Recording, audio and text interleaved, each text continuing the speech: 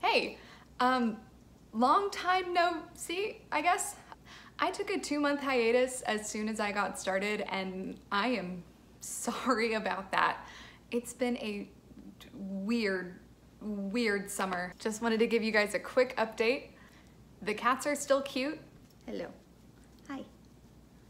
I am still drinking entirely too much coffee.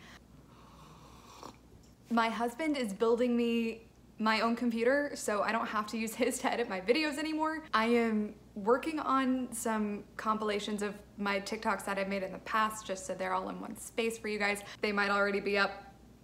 I don't know.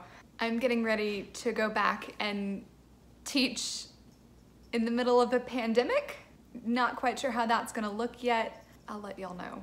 I finally got my Animal Crossing island to three stars. I've probably spent way too much time on that. And that's about it. Thanks for hanging around. See you in a bit. What?